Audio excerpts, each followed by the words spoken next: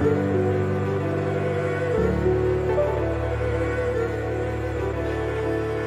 you.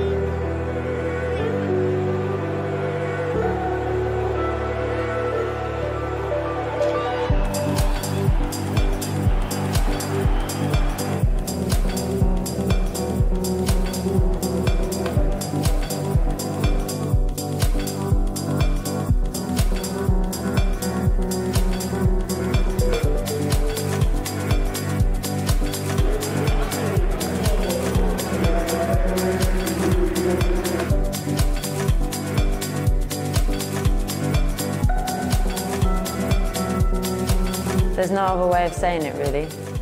I love this football club.